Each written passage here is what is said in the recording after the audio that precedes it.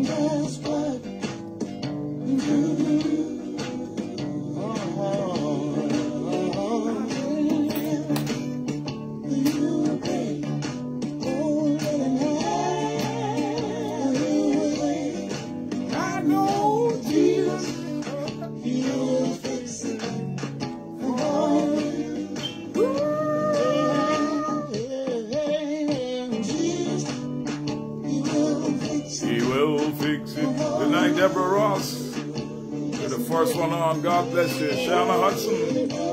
second one on. God bless you. Woo! Badu, badu. Whenever you pray, Reverend Wanda Gospel, you're the third one. Desiree Lane, you're number four. Jesus, He's gonna fix it for you. Good night, Lydia. Happy today. You're number five, girl. The number of grace. I know Jesus,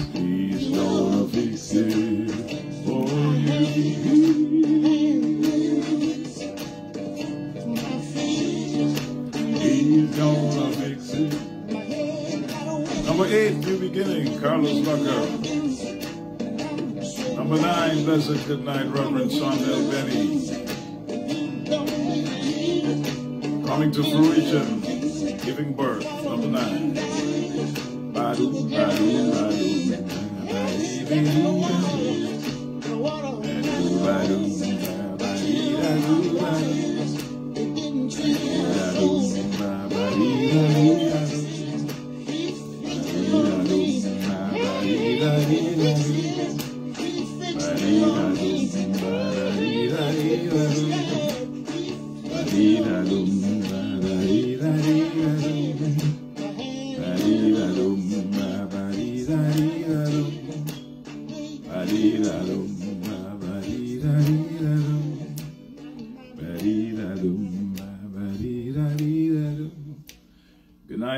Natasha Blossom. I am the cave. God bless you, bless you. Thank you for listening tonight. Looking forward to having a great time and infilling of the Holy Spirit. Anointing, activate, trigger, pull. The Holy Ghost gonna hunt you down until you get power from on high. Hallelujah.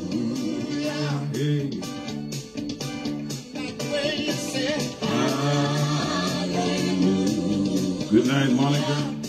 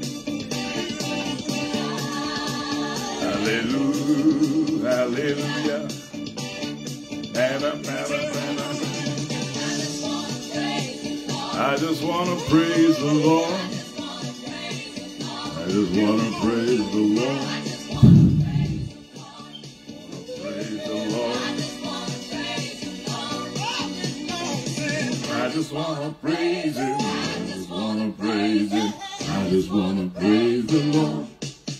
Buenas noches, señora y señora y señora.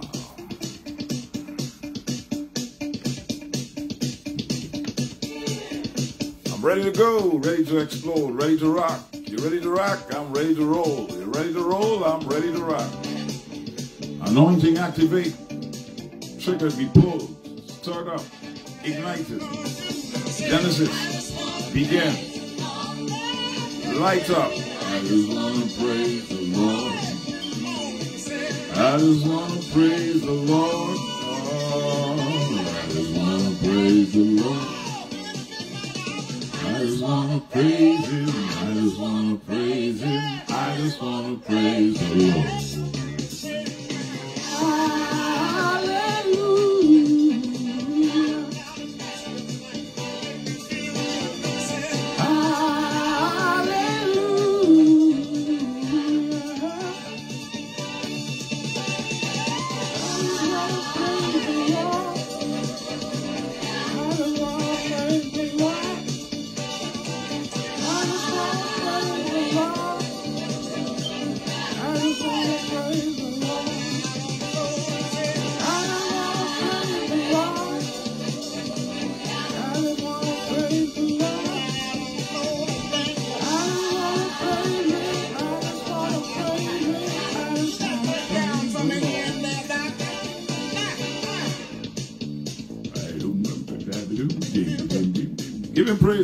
Some glory up in here. Some of y'all too tight.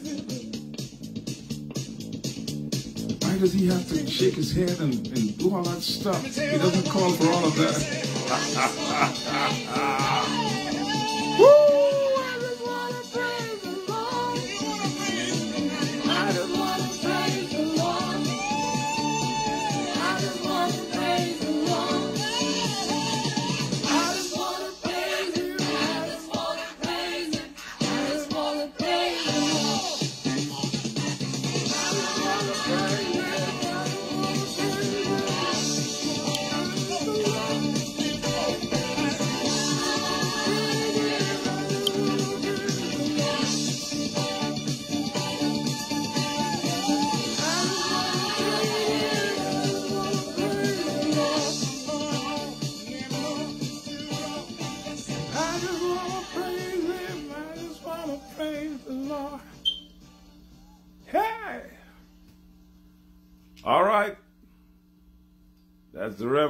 Al Green, man of God. All right, last night we were talking about the anointing and uh, that the anointing creates zeal. I was defining what zeal was, and I said zeal refers to a warlike spirit where the individual who's under the anointing boils hot with passion, enthusiasm, they have fervency, they concern themselves with something to take it up as a responsibility and as a goal, and they strive after it energetically. These are not words that describe Christians energetically, striving after, fervent, boiling hot, concerning oneself. That doesn't sound like the church we know. It's most likely laid back, chilling, taking a nap, trying to avoid as much as possible, wouldn't volunteer to do anything, just too lazy to get engaged. Think that because they come and put a little 20 bucks there that they have done God a service. In the common usage today, zeal is understood to involve a passionate ardor in the pursuit of something. It's passionate and it causes the individual to pursue the thing that they are passionate about. You couldn't marry that wife if you had sat on your duff and tell all your friends how you like her.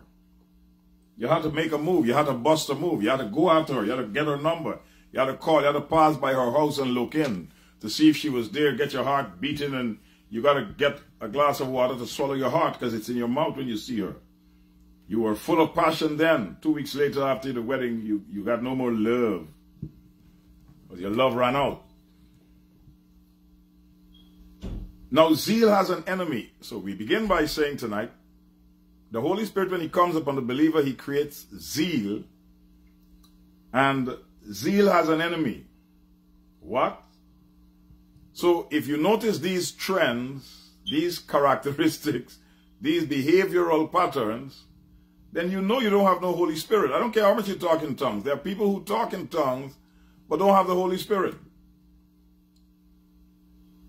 They heard somebody say something and they say what they heard. As a man said, he got filled at the sawmill. Mora walaba, mora walaba kabakali, mora walaba kabakali. he was kidding or whatever. There are many enemies of zeal. There are many enemies of zeal.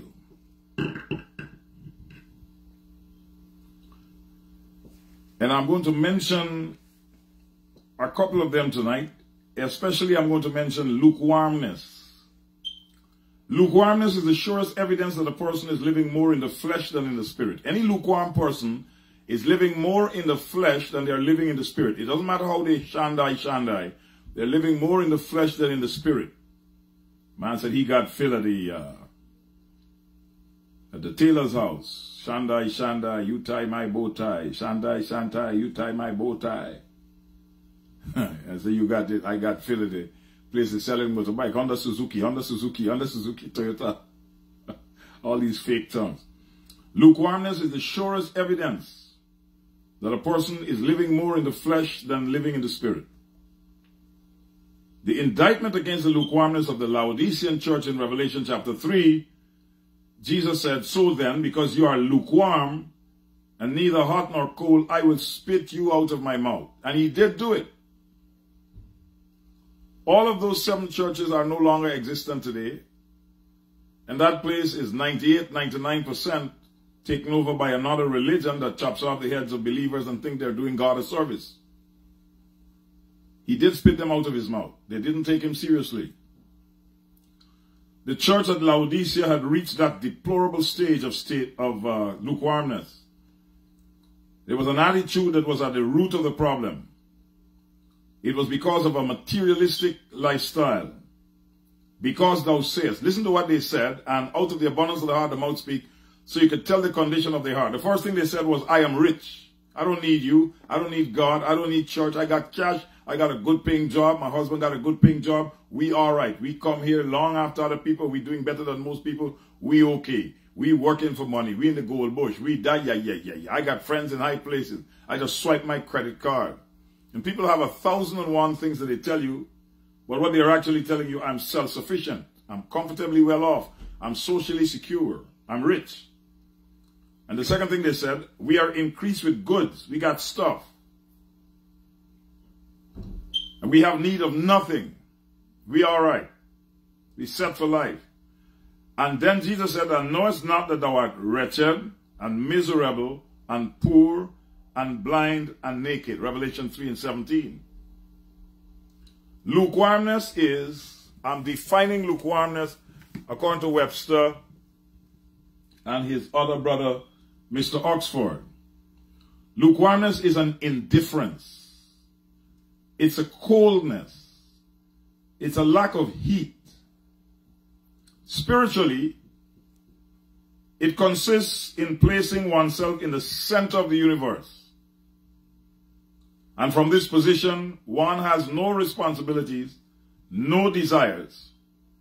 You say, well, I'm not lukewarm. All right, if you're not lukewarm, let me tell you what lukewarmness does and how you can identify it because it causes some things to happen to the people that have it. If you're lukewarm, these are some things that will happen to you. Number one, spiritual paralysis. You're not growing spiritually.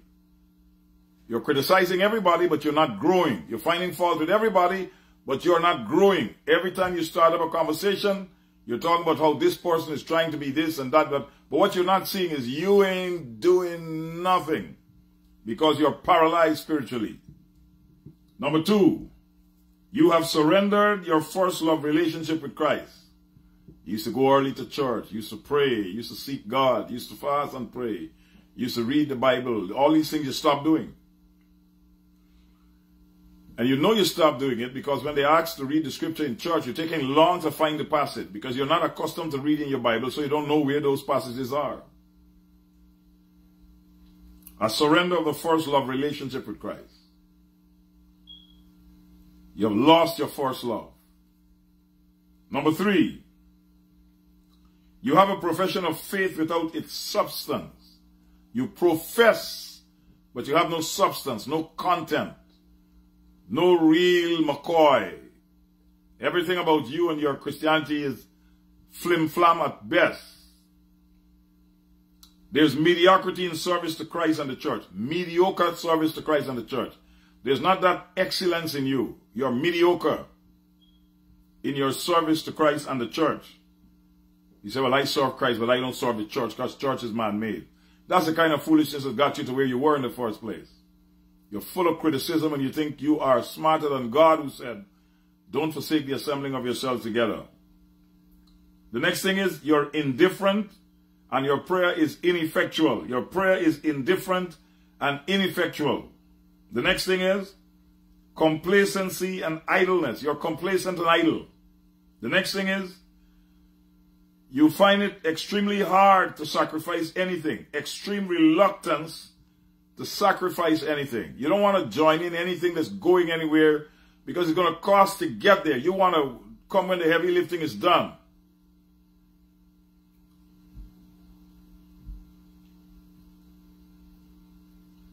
Extreme reluctance to sacrifice anything. if anything is going to be done in life, you're going to have to A, make time for it, and B, make sacrifices to see that it comes to pass. No child goes to college on their own. Those parents are making a sacrifice. If you got a child in college, you, you know some heavy bills are coming your way. If you got a child that's heading to college, you know some heavy bills are coming your way. Even if you saved up for the college fund, you still got, you know, I don't know where these bills come from. They just seem to prop up all over the place. Your burdenless attitude towards the suffering of others. You have a burdenless attitude towards the suffering of others. You don't care about people, you just care about you. Us 4 no more, Acts 2 4. You have a burdenless attitude towards the suffering of others. You have a passionless attitude towards all good things. Things are good, you should be involved in it, but you are passionless. You have no fervor to get to get to do anything. You always got an excuse. You're always pointing to some hypocrite who you think should know better and should do better. But what you haven't noticed is you're always finger pointing and you're never involved. You're never doing anything because the hypocrite really and truly is you. What do you mean you? The letter between T and V. That letter. You have a burdenless attitude towards the suffering of others. The next thing is, you're passionless towards good things, towards all good things. You just don't care about good things. You don't make anything happen. All you do is criticize. I can't stand people who always got to find a fault with something or someone. I just want them to stay away from me. I've developed a very intolerant attitude towards criticizers and fault finders. People like that are toxic and poisonous. They don't do anything but always finding somebody they can point a finger at to criticize something, whether real or imagined, they're going to find something to criticize. You know, sometimes I see people going to a church, I wonder, why do they keep going to church? They need to stop. They're no good to the church. They're, they're, you know, they're just there creating havoc every time they come. Might as well you stay away. Why are you here? Why do you go? Passionless attitude towards all good things. Neglect of spiritual activity and responsibility. They neglect all spiritual activities and responsibilities. You know what has happened to our churches and our church folk? We have given them too much slack and, you know, you know, mind your own business. Don't get involved with people's business. You got to watch it. Look out for yourself. Work out your own salvation with fear and trembling. And people do all kinds of stuff and nobody calls their bluff. Nobody calls them on it. Nobody says, no, you can't do that here, bro. We don't roll like that up in here. Why? Because there is a neglect of spiritual activity and responsibility. When zeal is there, when the Holy Spirit is there, zeal is there. When zeal is there, it focuses on the house of God and doing things that will make the house of God go forward. Anything and anyone that's stymieing the progress of the church, it gets you angry with that individual and with that behavior.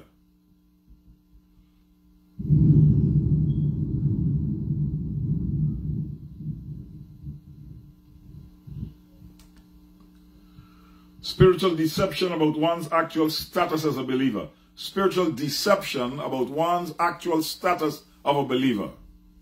People think they're a big dog in the in the house when indeed and in fact they're a little puppy. To hear them walk around and growl and bark. The enemy of zeal is lukewarmness. The enemy of zeal is lukewarmness. And whenever there's spiritual paralysis, whenever there's a surrender of the first love, whenever there's a profession without the substance, whenever there's mediocrity in the service of Christ and in the service of the church, whenever there's indifferent, ineffectual prayer, whenever there's complacency and idleness, whenever there is a extreme reluctance to sacrifice anything, whenever there's a burdenless attitude towards the suffering of others, whenever there's passionless uh, attitude towards all good things, whenever there's a neglect of spiritual activities and responsibilities, whenever there's spiritual deception about one's actual status as a believer, there is lukewarmness. And the lukewarmness is the enemy of zeal, which is a byproduct of the anointing.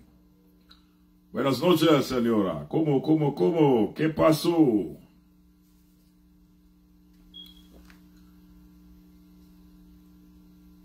This is where we need to self-examine. Self-examine. Examine yourself and see whether you're still in the faith.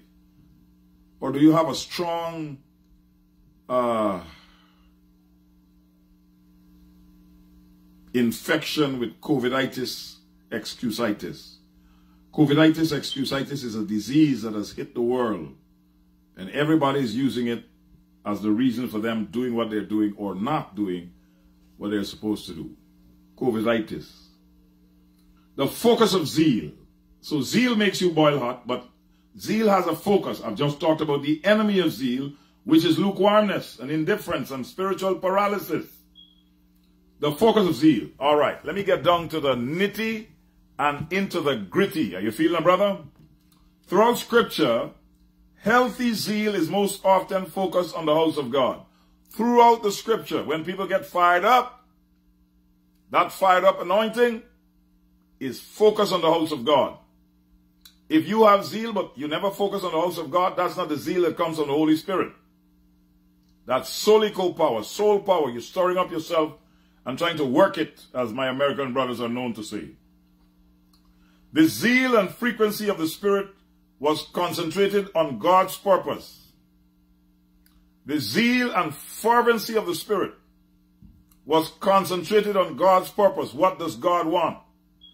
Break my heart with what breaks yours. What does God want? What does God think about this? In the New Testament, we are also anointed with this same anointing of zeal for the house of God. John 2, 13 to 17. I read. And the Jews' Passover was at hand. And Jesus went up to Jerusalem and found in the temple those that sold oxen and sheep and doves, and the changers of money sitting. And when he had made a scourge of small cords, he drove them all out of the temple, and the sheep, and the oxen, and poured out the changers' money, and overthrew the tables, and said unto them that sold doves, Take these things hence. Make not my father's house a house of merchandise. And his disciples remembered that it was written, The zeal of thine house had eaten me up.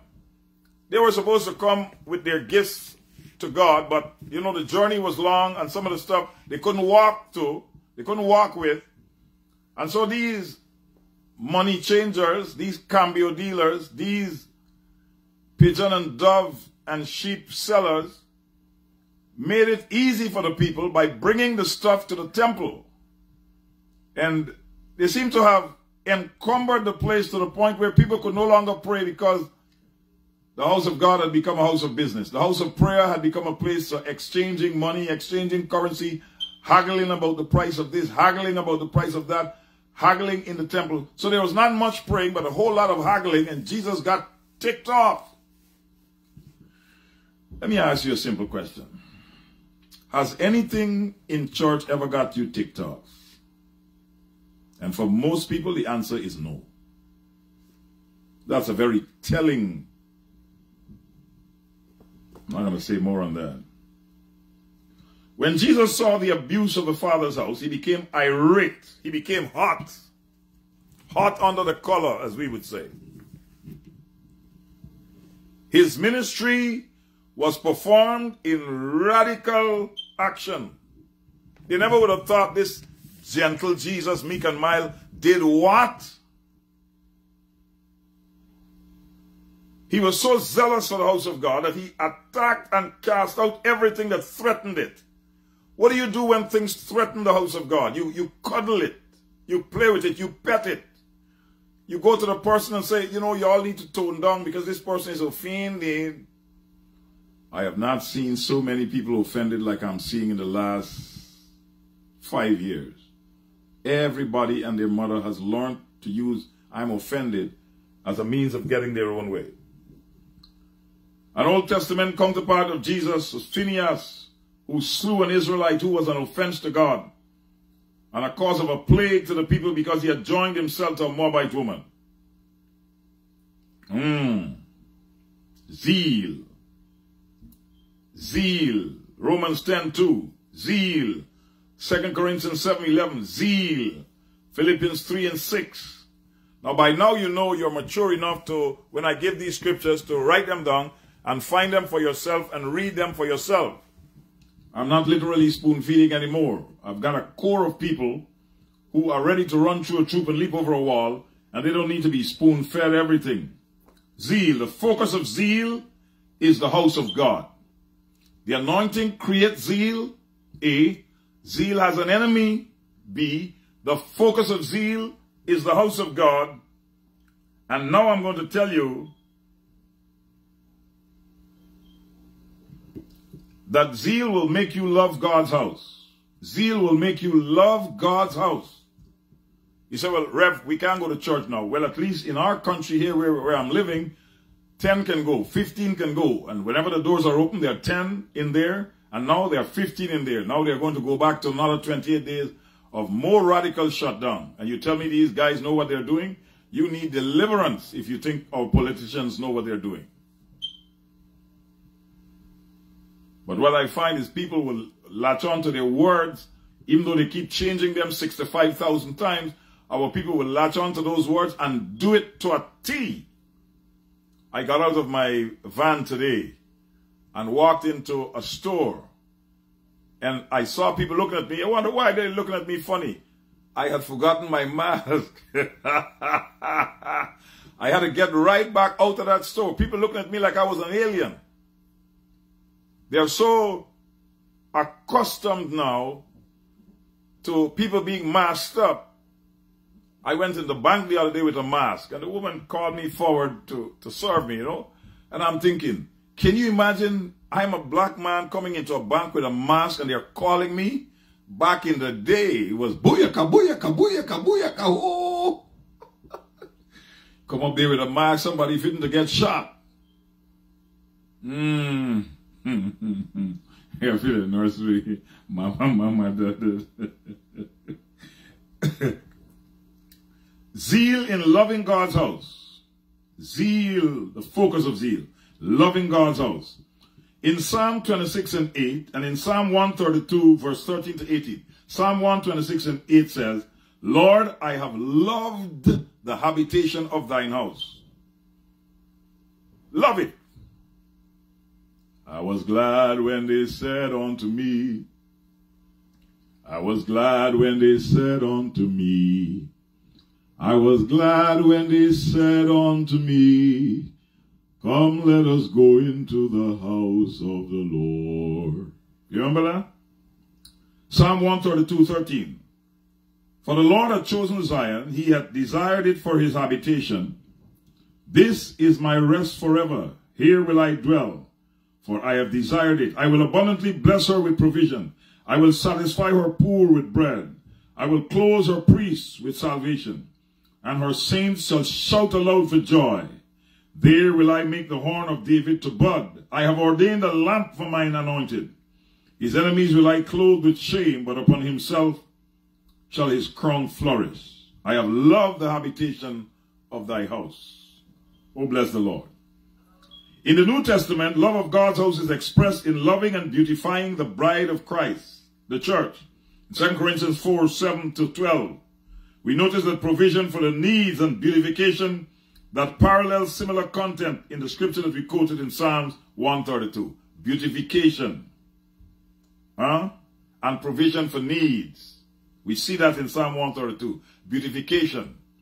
He gave us beauty for ashes, the oil of joy for mourning, the garment of praise for the spirit of heaviness, that we may be called seeds of righteousness, the planting of the Lord, that he might be glorified. We are the called out. We are the ecclesia. We are the governmental body of God on the earth.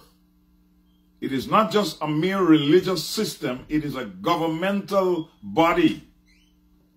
You know, in God's view, the church is more political than it is religious. But if I were to say that, I'll start a fight.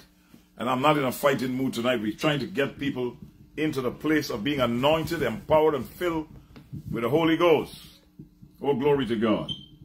Mm. Husbands, love your wives, even as Christ loved the church and gave himself for it, that he may sanctify and cleanse it with the washing of the water by the word, that he may present it to himself a glorious church, not having spot or wrinkle or any such thing, but that it should be holy and without blemish. For no man, hear the scripture, no man yet hated his own flesh, but nourisheth and cherisheth it, even as the Lord the church, for we are members of his body, of his flesh, and of his bones. He loves the church. And he gave himself. He died for the church. Oh, there's a lot of meat in that, but if I get off on that meat, I'm going to spend a lot of time, and time we don't have tonight. So zeal is expressed in loving God's house, and then zeal is expressed in going to God's house. Going to God's house. Oh boy, oh boy. Psalm 27 verse 4 says, One thing have I desired of the Lord, and that will I seek after, that I may dwell in the house of the Lord all the days of my life, to behold the beauty of the Lord, and to inquire in his temple. The focus of zeal is going to God's house, not just loving God's house, going to God's house. Psalm 42 and 4 says, I had gone with the multitude. I went with them to the house of God with a voice of joy and praise, with a multitude that kept holy day. Psalm 33 and 14. We took sweet counsel together and walked into the house of God in company. Psalm 122 1. I was glad when they said unto me, Let us go into the house of God. Isaiah 2, 2 and 3. And it shall come to pass in the last days that the mountain of the Lord's house shall be established on the top of the mountains, and shall be exalted above the hills, and all nations shall flow unto it. And many people shall go and say, Come ye, let us go to the mountain of the Lord, to the house of the Lord our God of Jacob. And he will teach us his ways, that we may walk in his path. For out of Zion shall go forth the law and the word of the Lord from Jerusalem. Oh, the house of God. Oh, oh, let's have church. Let's go to church. Let's go to the house of the Lord. Hebrews 10, 24 and 25. And let us consider one another to provoke, to provoke unto love and to good work. Let us consider one another to provoke unto good works, love unto good works, not forsaking the assembling of ourselves together, as the manner of some is, but exhorting one another, and so much the more you see the day approaching. Not forsaking the assembling of yourselves together as the manner of some is. It's amazing that this, this Bible was telling us not to stop going to church all our Christian lives, and then all of a sudden we have governmental agencies that tell us to stop going to church, and we stop. And some people will not go back when the time has come. And some people are glad that the COVID is here so they can stop. And uh, some people long to be in the house of God. I love to be in your presence with your people singing praises. I love to stand and rejoice, lift my hands and raise my voice. Mm. You set my feet a dancing You fill my heart with song. You gave me reason to rejoice, to rejoice. I love to be in your presence with your people singing praises, yeah. I love to stand and rejoice, lift my hands and raise my voice. We have allowed governmental overreach to stop us from serving God. We have allowed politicians to dictate to us how often we can go to church, how many of us can go to church. And when these things began to happen, it was contrary to the law. Now they're going to try to hurry up and create legislation to prevent church attendance from going to a certain amount of people. They have found a way, they have always wanted a way to cut the influence of the church, and now they have found a way and they're going to stretch it out as long as possible until they have put something else in place to prevent church from being as strong and as powerful as it is. I just know that in every with every fiber of my being. Wicked men have always wanted to get their hands on the church, and now they're using COVID as a reason. And while you Christians sit around criticizing each other, the devil and his crowd are very busy trying to put a stranglehold and a noose around the neck of the church so that they can control it. They can manipulate it. They can put pastors who they want. They can tell you what to preach, what you cannot preach, and then make the Bible into some book of wickedness so that you can go to jail for hate speech if you say thus and thus and quote scripture. We have had in this country people taking off the television for saying marriage is between a man and a woman. Taking off. The days are here. And while we are busy playing church, the world is busy doing everything to put the church out of commission. I'm warning now. I'm raising my voice as a trumpet to warn. There is too much governmental overreach. These politicians have taken on too much power for themselves. And we are like little brats of children that are being sent to our rooms. You know, you used to tell your children you're grounded. Go upstairs and stay in your room. Now the government is telling us to go in our house and stay there. What have we done? We haven't committed any crime. Oh, but you know, you gotta, if you love your neighbor, you're gonna stay indoors. Well, I need some sunshine on my body. They're not telling you that. Why isn't the message, let me just ask a question. Why isn't the message, build your immune system naturally? That's not the message. That's not the message that they're pushing. That's not the message that they're promoting. Build your immune system. No. That's not the message.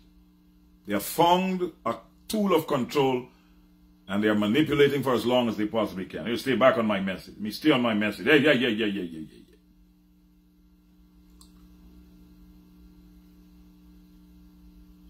The focus of zeal is going to God's house. Then the next thing is, the focus of zeal is building up God's house and not tearing it down. Building up God's house and not tearing it down. If you have the anointing, you will want to build up God's house and not tear it down. You'll want to do whatever it takes to make that house go, to make that house grow, not to make it stop, not to create another uh, a drama again, another gossip again, another he says, she say. Oh, we're sick of that.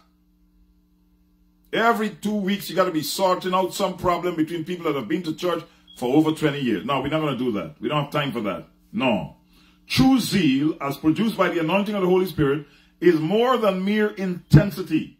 It is a commitment to doing that which builds the house of God and to avoiding that which tears down the house of God. In this, true zeal that comes from the anointing of the Holy Spirit embraces wisdom to pursue its goals even if zeal is not always associated with wisdom. Sometimes you get so zealous, you, you run amok and people got to pull you in for fitness and examine your driver's license and all the rest of it. Proverbs 14 and 1. Every wise woman builds her house, but the foolish one plucks it down with her hands. I was pastoring a church and there was a, there was a deacon in the church and he, he thought his job was to carry messages to the national leader, the supervisor, the overseer. And every time we had a members meeting, we planned to do something, he would tell the overseer, but the way he would tell it, he would tell it in a kind of a negative tone. And then the next week, the overseer would pass by and he would ask me what I was doing. And then he would tell me that he heard I was doing thus and so. And he doesn't think we don't have the money for that. And yeah, yeah, yeah, yeah, yeah, yeah. He wouldn't stop. And then it came to pass a few years later that that particular deacon was being pointed out as a possible replacement for a pastor who had left the country. This deacon was going to now be the pastor of that church. And when he was leaving, I said to him, May the Lord grant you a member just like you. That whatever you were doing in this church, you will have a member in that church doing the same thing to you. May the Lord grant you that. And he stopped and he looked at me for a long time. He was trying to figure out what I was saying. He said, Rev, it sounded more like a curse. I said, why would it be a curse? If you are doing good in this church, may the Lord raise up a member in your church to do good, the good that you are doing here. Why is that a curse? And he smiled. because I had traced the the spy in the book uh, in the church to him. I would tell him things that only he would know, only he and I would know. And the next week, sure enough, here comes this superintendent to talk to me about the thing that he and I had talked about. I was testing him, and he proved to be a Judas Iscariot. Well, guess what? The first time he went to that pastor that church, he decided he was going to build a nice bridge so cars could come and yeah, yeah, yeah. And then he got a phone call from the superintendent saying, who authorized you to build the bridge? and boy, oh boy, twice he came to where I was living. I was living at the church premises at that time. And he was in tears. He said, you got to take this thing from off of me. I said, what thing? I knew what he was talking about. And then he told me he's got this deacon. Everything they plan to do, this deacon would call the bishop and tell him what they plan to do. And he would tell him in a negative way. And the bishop is always at him, always at him, always at him. And he can't take this harassment anymore.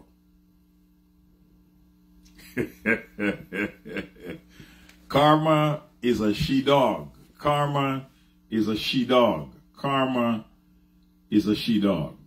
Proverbs 24 and 4. Through wisdom is a house builded, and by understanding it is established. The zeal focuses on building the house of God and not tearing it down. You've got sometimes you've got to take the wrong if by taking the right you're going to create drama in the church. Sometimes it's better to take the blame, take the bad name and just go on with your life than to find and prove and then more people have to come into it and the stink becomes stinker. Stink, stinker, stinkers. And instead of the thing staying at stink, now it is at stinkers. Avoid situations that create too much drama and breaks the flow of a local church.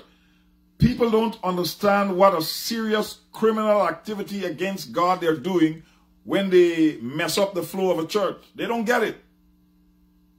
They, they, they, they, they, got, they got tremendous joy out of being a mischief maker in the house of God. You're going to answer God for that. You're not going to get off. Oh no, you're not getting off. You will answer God for every church that you destroyed, for every member that you ran out of the church. You will answer God for every drama that created a situation where the church lost its fire and uh, it had to be cooled down because of you and your constant rumor mongering. You will answer God. And anywhere you go to be in any form of leadership, you will have people under you just like you creating ruckus, creating trouble, creating drama. You will reap what you sow. A lot of people, when they start to reap, they come for prayer, talk about, you know, Rev, I think somebody obeah me. I say, yes, I know them. Said, you know the person who obeah me? I said, yes. Rev, you, you, you're kidding. No, I'm not kidding. Is who, Rev? Is who? And I said, look in the mirror. You see the person staring back at you. And then I have to walk them through these times when they created a lot of stink in the house and they say, you know, Rev, I, I was joking. I was joking. I didn't mean that. I didn't mean it that way. the law is unalterable. You cannot plant banana and get cassava. You will reap what you sow. The only thing is when you reap, you get more than what you sow. And you get it in a different season. And sometimes you're in a season of life where all you want is peace and quiet. And all you're getting is drama. Why? Karma is a she-dog and she has come back in with all of her children.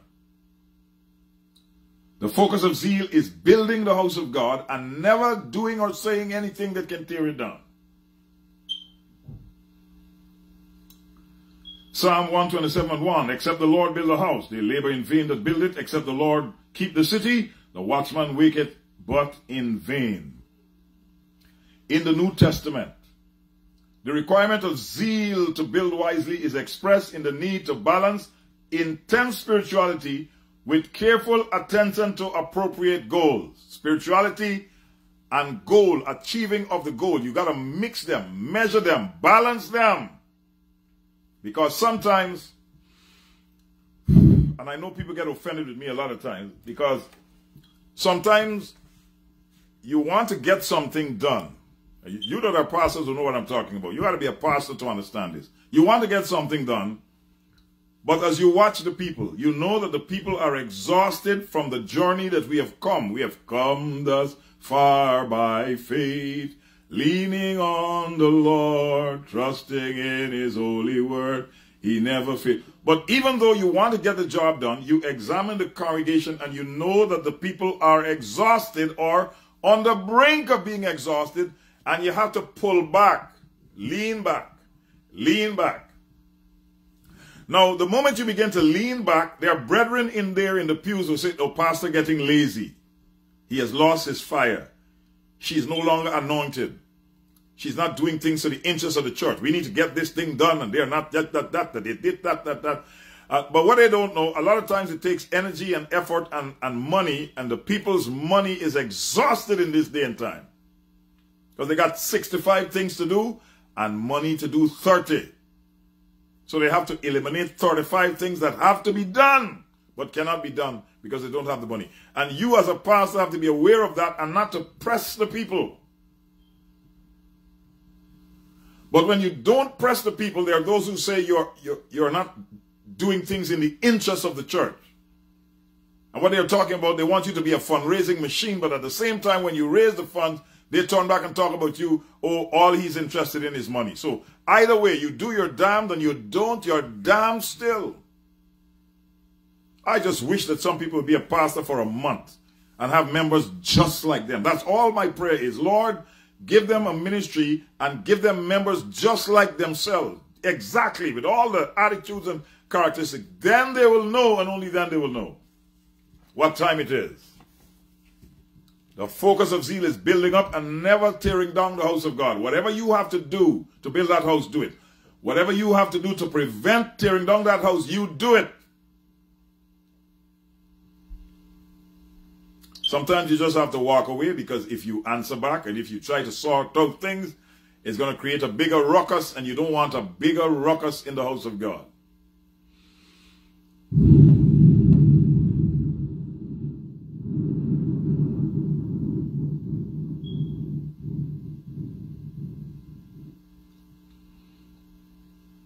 The anointing will give you the ability to build God's house and not to tear it down. I'm going to do one more and then we close and begin to pray. Get ready to pray. Finding satisfaction in the house of God. There are a lot of people that assume that the pastor is an entertainer. And if your sermon is not entertaining, then you have lost your anointing. If you're not, as I would often say, swinging from the chandeliers like a monkey, and sweating like a pig in a butcher shop, they're not satisfied. They, they want the theatrics. They want you to be a performer. And when you get that microphone, like Clark Kent, you become Superman. and uh, the performance begins. And people will tell you before the service, Rev, I hope today you're going to bring it.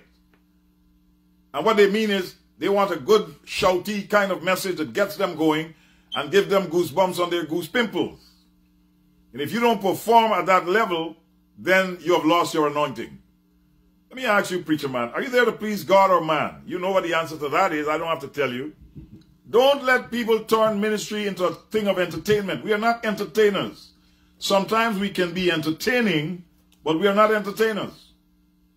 I love to make people laugh, but yo, come on, man.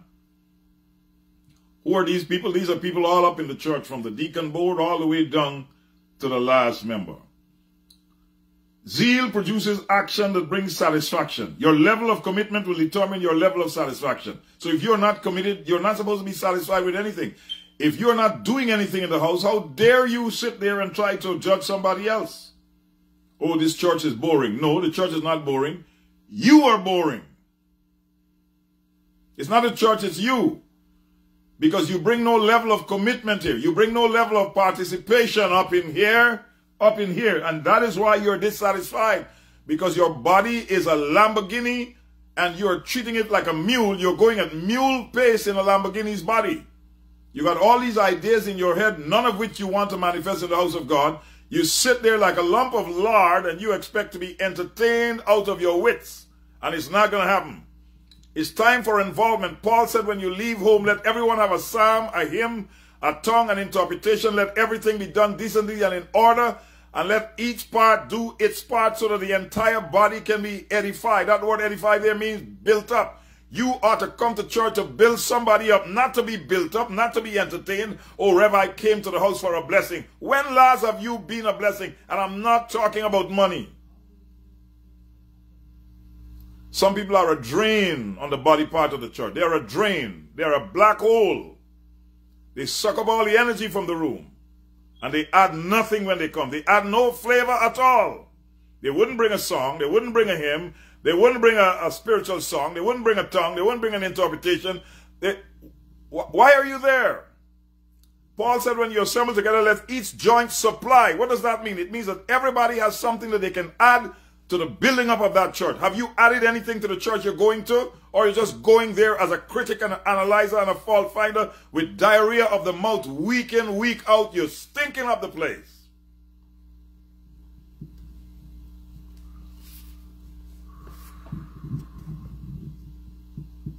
Glory to God. Hmm. Hmm. Hmm. My mouth is itching to answer, but hey, hey, hey, I want to maintain peace in the house of God. Glory. Mm. True zeal that comes from the anointing of the Holy Spirit functions in a continuous cycle of zeal, action, satisfaction. Zeal, action, satisfaction. If you have the Holy Spirit at all, there will be zeal that will produce action, and that action will bring satisfaction. When there is not satisfaction, it's because there is no action. When there is no action, because there is no zeal. When there is no zeal, it is because there is no spirit. Why not? Have you received the Holy Spirit since you believe? No. Why not? Oh, rockashaka. I know there are people sitting down squirming on their chair right now like, whoa, I'm sorry I joined tonight. I thought he was going to give us some jokes tonight. Hmm.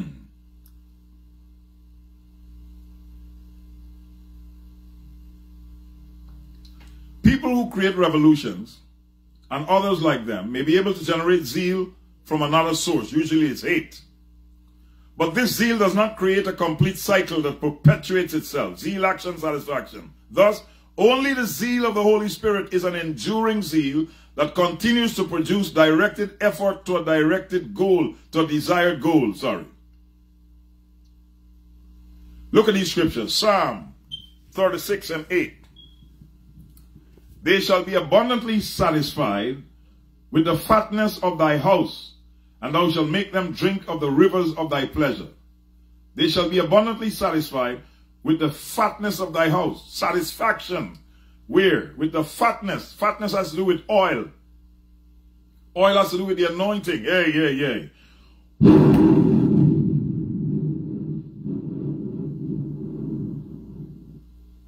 Psalm 42, 1 and 2. As the heart panted after the water brook, so panted my soul after thee, O God. My soul thirsted for God, for the living God.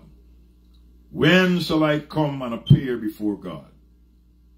As the deer panted for the water, so my soul longeth after thee. You alone are my heart's desire, and I long to worship thee.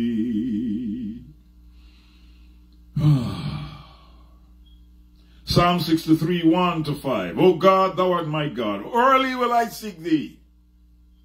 My soul thirsteth for thee. My flesh longeth for thee in a dry and thirsty land, where no water is, to see thy power and thy glory, so as I have seen thee in the sanctuary.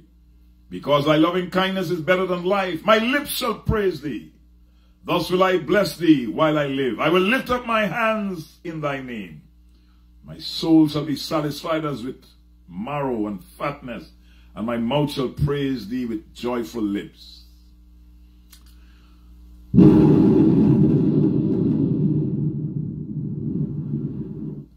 Psalm 87 and 7.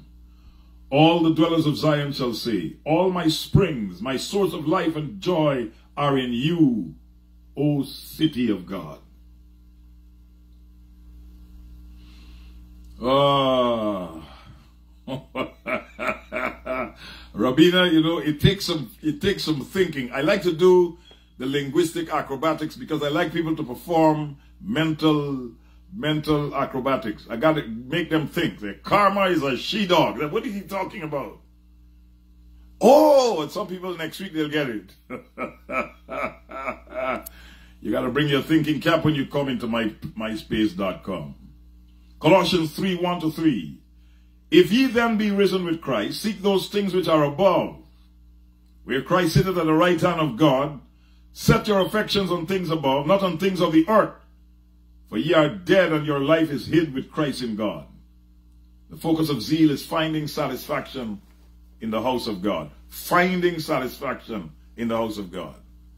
Not expecting someone to satisfy you. Not looking to be entertained.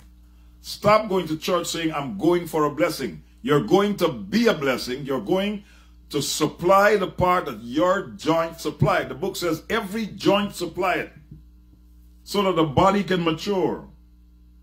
It is not right for a few people to be supplying and others soaking up week after week, week after week, month after month, year after year.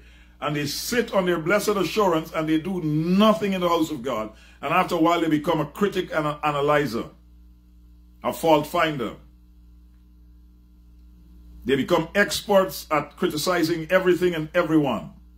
Why? Because they have nothing to do. They're idle. And for the most part, the church has taught them that, that they're there to be entertained. Sunday morning between 11 and 1 is the most entertaining two hours on the planet. A lot of singing, lot of dancing, lot of choirs, a lot of entertainment. And the preacher comes up there and he's more telling the news than, than motivational speaking than he is preaching the word of God. There will never be a day when I'm told that I'm just out there entertaining. I got scriptures all up in my wazoo and I'm quoting scripture left, right, and center. You will never hear me preach and didn't quote scripture after scripture after scripture. Sola scriptura. Sola scriptura. What is he saying? He's speaking in tongues? No. I'm not speaking in tongues. I'm just saying it again. Sola scriptura. Scripture in the earlobes.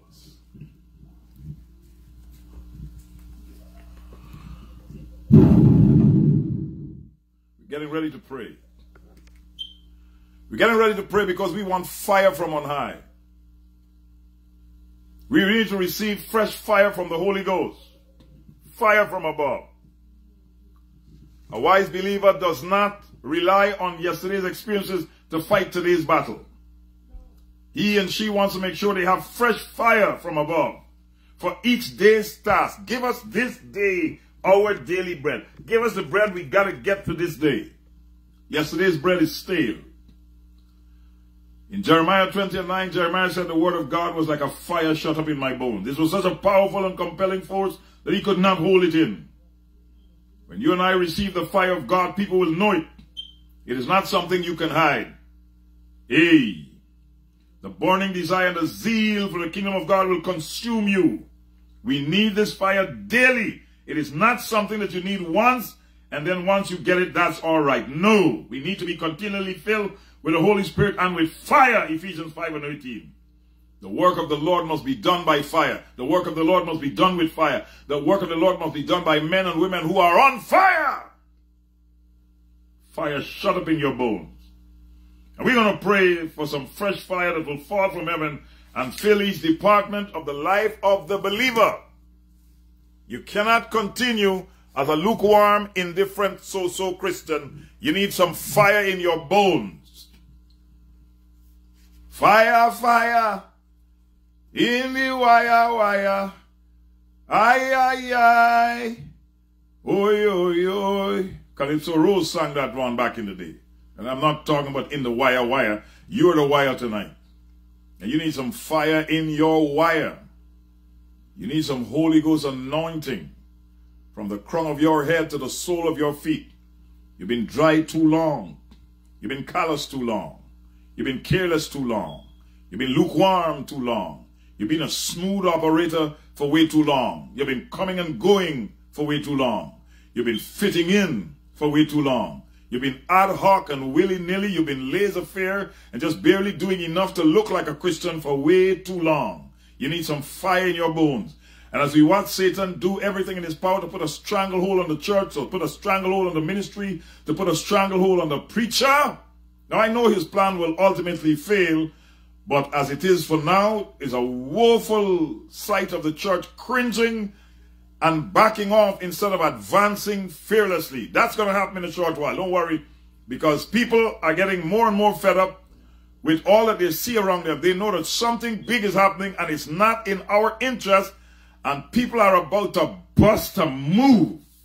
I smell it coming. I smell bread. Fresh loaf of bread from Heaven's Bakery. That's what I smell. Even the secular people say enough. Enough. We see what you're doing. Enough. We're not going to put up with this again. Enough of this. Name of Jesus. May the church arise quicker than at once and sooner than immediately. And so we're going to pray. Are you feeling a brother now? Pray after me. Yes, pray after me. Pray out loud. And as you pray, Kasa, Mando Kochaya. As we pray, let me see what's going to happen. You're going to feel a presence in your house. When I pray for people to receive the Holy Spirit, this happens all the time. So I know what I'm talking about. This is a tried and true formula that has worked over 41 years. You're going to feel a presence in your house, in wherever you are at, in the car, wherever you are at. I don't care where you're at, but wherever you're at, you're going to feel like a physical presence in that place, standing either on your right, standing somewhere in the room or someplace, but your entire being will begin to be drawn to that place, to that east, west, north, or south. You're going to feel a presence in the room as we begin to pray. As we begin to pray, not somewhere down in the prayer, at the back part of the desert, as we begin to pray. After that presence is in the room, you're going to feel fear. You want to get up and run. That's the next thing that's going to happen. You're going to feel fear. A sense of dread and trepidation will hit you. Your body will get warm or cold. A voice in your head will say, Get out of here. This is a demon. We bind all strongmen operations, all demonic powers, wherever this message is being heard. The devil cannot operate now. In the name of Jesus. He is persona non grata. Persona non grata. He's not allowed in. Name of Jesus. The blood of Jesus is against him.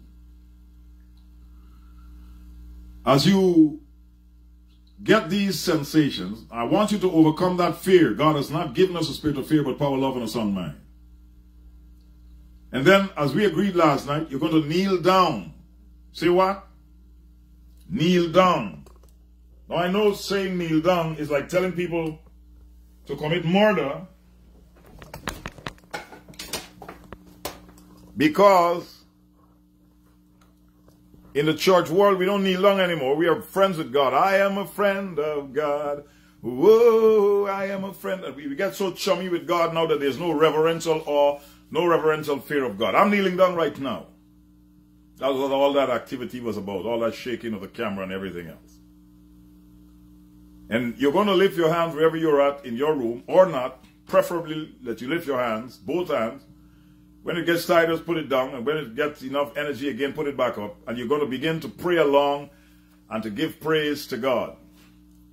When that happens, your mind will start to be filled with words that were not there before, and they are foreign words. Open your mouth and continue to praise God. Don't try to force yourself to say them. I know what I'm telling you because when that Holy Spirit gets a hold of you, the thing you're going to try to do is try to stop the, the guttural gushing that's coming out of your mouth. Receive the Holy Ghost, man. Are you ready? So here we go.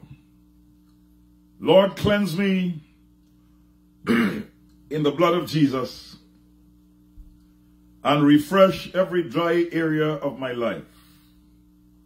Cleanse me in the blood of Jesus and refresh every dry area of my life. Excuse me. No, I don't have COVID. Heal every wounded part of my being. That rocking back and forth sensation that you're feeling is not you rocking back and forth. That's all right. You're feeling like your stomach is being filled up. That's what the scripture says. Out of your belly shall flow. I'm feeling that rocking happening here, so I know it's happening out there to somebody. This is not my rocking. This is somebody else's rocking. Oh, glory to God. Lord, bend every rigidity in my life, every evil rigidity, evil rigidity. That thing in your life that says, I will not, I will not, I will not, I'm not giving in, I'm not giving in, I'm not giving in, I will have my way. God will not have his way, I will have my way. That evil rigidity, you're stuck on evil and you're rigid with it. Hey. Realign every satanic straying in my life. Every area where the devil is making me stray and where I'm listening to him and straying, Realign it. Bring me into alignment. Lord, I hunger for a mighty move of God. Lord, I'm thirsty. Pour out the Holy Ghost. Lord, I long to see the hand of God move mightily inside of me. I'm hungry for a move of God. Just lift your hands and sing along with me. Lord, I'm hungry for a mighty move of God. Lord, I'm thirsty. Pour out the Holy Ghost. Lord, I long to see the hand of God move mightily inside of me. I'm hungry for a move of God.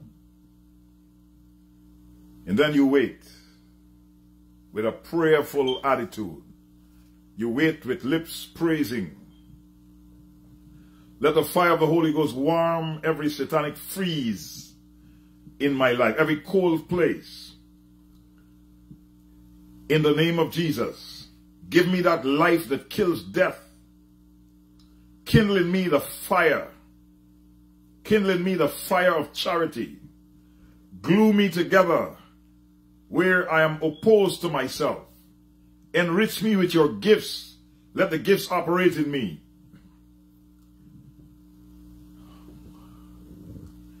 Quicken me and increase my desire for the things of heaven.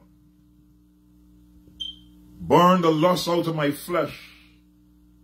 Let Jesus increase daily in my life.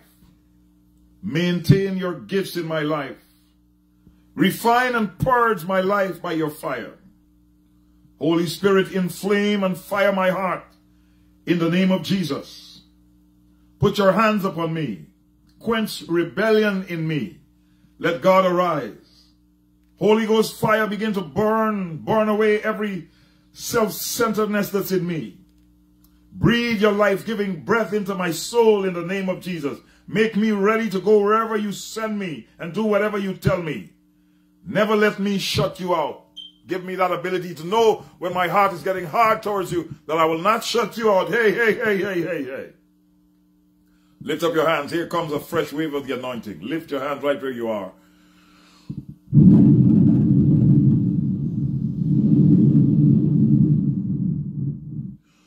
For those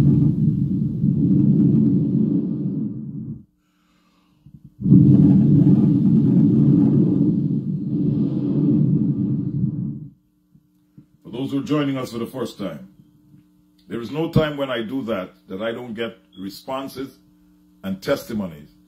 I don't know how God does it. I'm here in my room kneeling, blowing into the mic, and the presence of the Lord will go into a room in Africa somewhere, in Nigeria somewhere, in China somewhere, in India somewhere, in Sri Lanka somewhere, in the West Indies somewhere, in America somewhere, and touch somebody, drive demons out of them, fill them with the Holy Spirit, thousands of miles away. I just, I can't figure that out.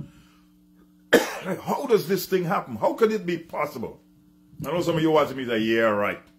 That's on you. According to my faith, it is on to me. It's not going to stop either. It's going to get stronger and stronger. It's going to get stronger and stronger.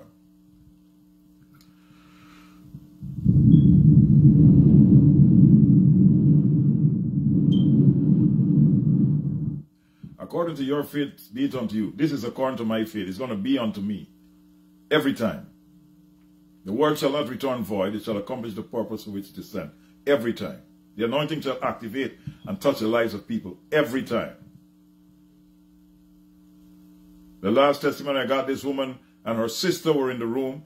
And the sister was, you know, joking around like, what is he talking about? Why does he blow into the mic as if he's some great power? You know, and they're looking for some name, preferably somebody that doesn't look like me, who is doing something like this. He said, oh, he's joking, man. The sister said, no, I, uh, I saw people write on the thing that the Lord touched them when he does that. And the sister said the next thing she know, the one making the jokes fell on her face. and she's trying her best to get up. He said, what is happening to me? What is happening to me? He said, well, you said it's not happening. How is it happening to you? And that person could not get up. The sister had to help them and take them to a chair and put them to sit there. And they're under this anointing for so long.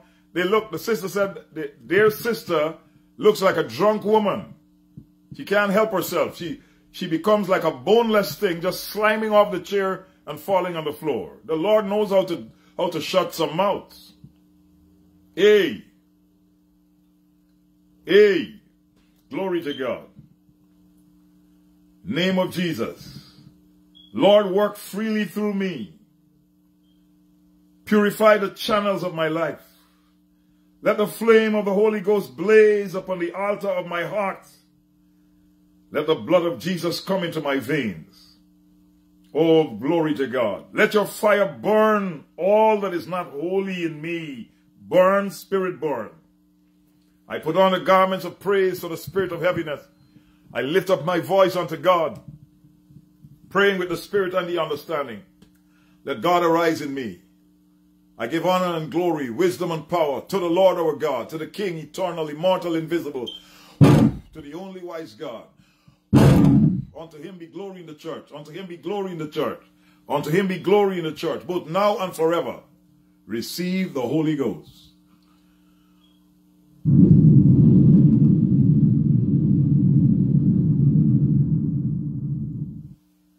Receive the Holy Ghost. Receive the Holy Ghost. Receive the anointing of the Holy Ghost in your life from the crown of your head to the sole of your feet. Receive the Holy Ghost. Let the power of the Lord begin to flow. Let the power of the Lord begin to touch. Manifest your greatness. Hey, hey, hey, hey, hey.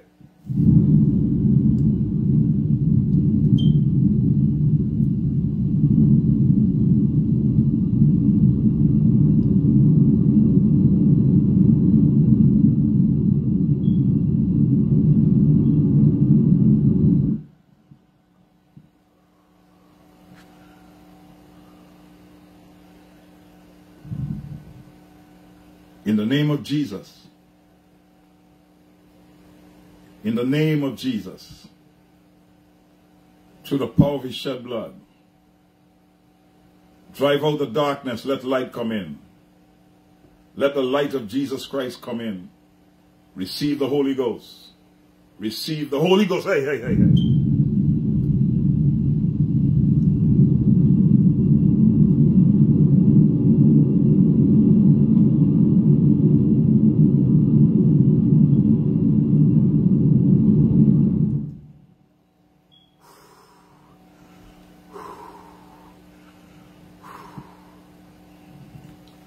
Receive the Holy Ghost.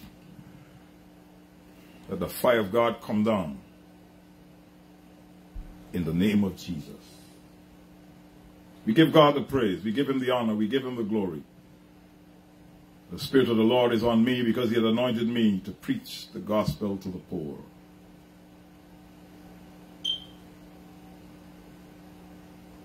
Tomorrow is Good Friday at 10 o'clock. We'll be on Zoom and Facebook Live, bringing the message of the gospel. And on Sunday, we'll be in church at 10 o'clock on Zoom and on Facebook Live again. Good Friday 10. We'll be in our homes. The service will come to you live and on Zoom we expect the Lord to be with us. Expect a great move of His Holy Spirit. And uh, tomorrow, Good Friday, I will not be teaching. I'll be standing up and uh, preaching for a change.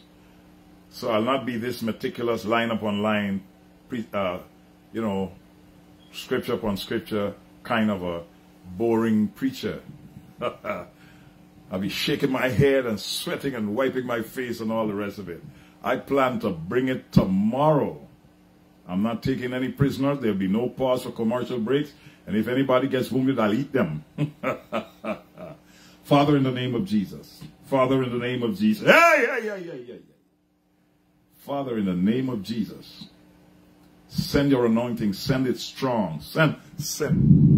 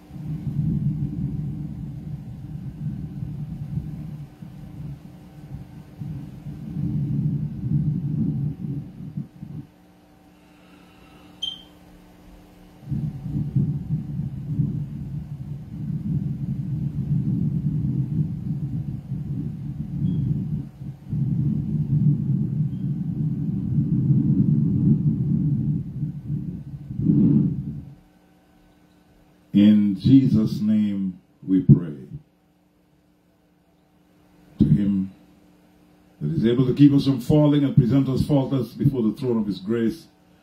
And to the only wise God, our Savior, to Jesus Christ, his Son, Yeshua the Messiah, be honor, glory, power, wisdom, dominion, now and forevermore.